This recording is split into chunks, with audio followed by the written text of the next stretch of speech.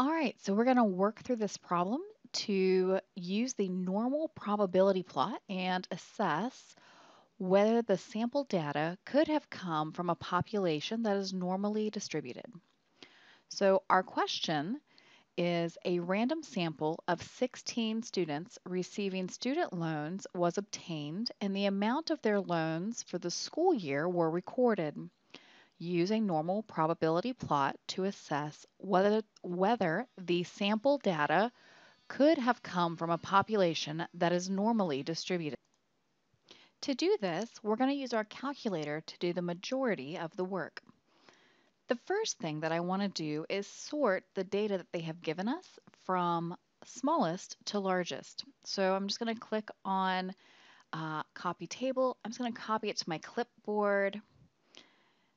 So I'm going to copy that. I just right click and copy, and then I'm going to paste this into Excel.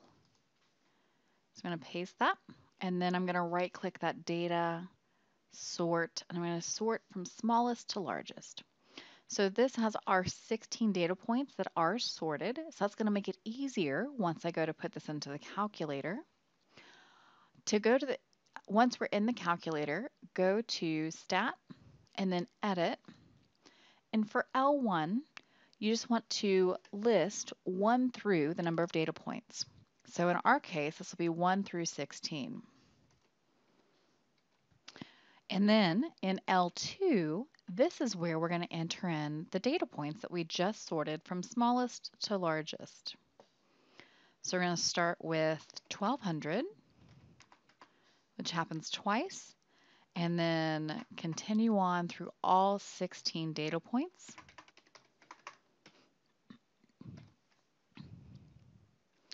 After entering in our data points, we are then going to calculate f sub i. This is the expected area under the normal curve to the left of the ith observation. So for instance, this first spot here would be calculating the expected area under the normal curve to the left of the first observation, and then the second, and the third, and so on. That formula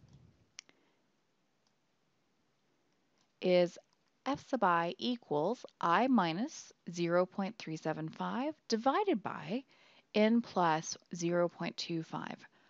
Rather than calculate this for all 16 data points, I'm going to highlight L3 and set that equal to.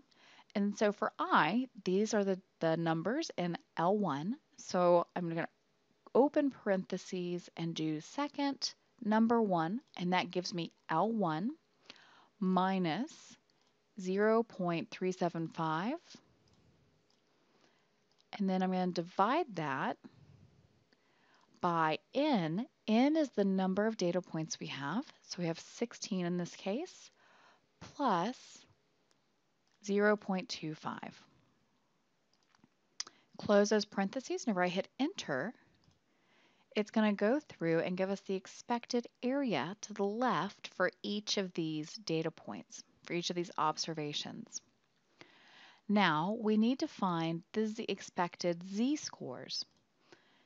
To do that, again, I'm going to have the calculator do a lot of the heavy lifting, we want to figure out what the z-score would be for each of the areas listed in L3 or in list 3. So for this first one, again, I'm going to have the calculator do most of the work. So we do second distribution or second vars, which gets us to distribution. And then number three is the inverse normal. And so here, if you put in the area, uh, it'll give you the z-score. So I'm going to put in that 0.0385.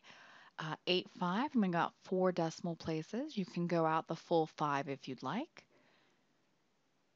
And then I'm going to continue doing this. So second vars, number three, I'm doing the inverse norm of, and I'm having to type in the data point that is in L3 that's right beside it. So for this second data point, um, we're going to put in inverse norm of 0.1 and you should close your parentheses, but in this case you don't have to.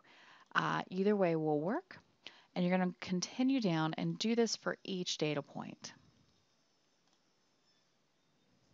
Once all of our data points are entered, let's look at the graph where we are going to have the L2 as our x and the L4 as our y. And so to translate that over, that simply means that we'll have our observed values as the x-axis and the expected z values as the y-axis. So to access this, I'm going to click on second and then y equals so that I can get to stat plot. And I'm going to hit enter. I'm going to go into plot one. I'm going to make sure this is on. I'm going to choose this first, the scatter plot. And then for my X list is L2 and my Y list is L4.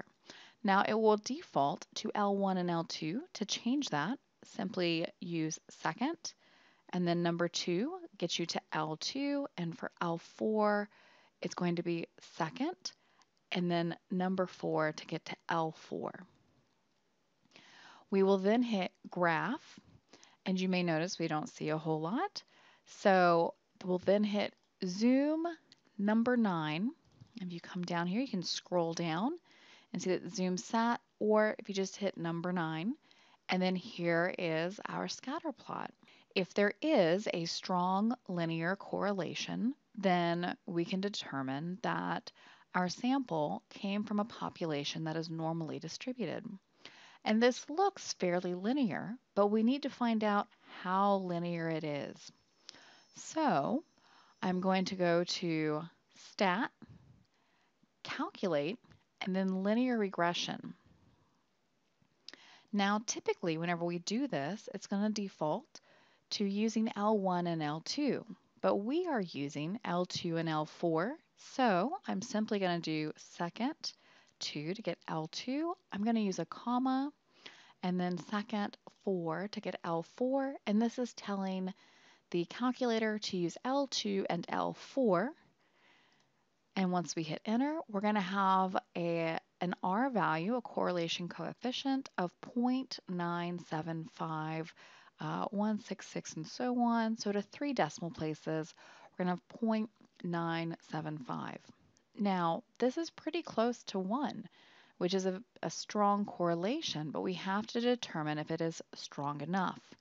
To do that, we need to compare to the table of critical values. So this table of critical values is based on the sample size n.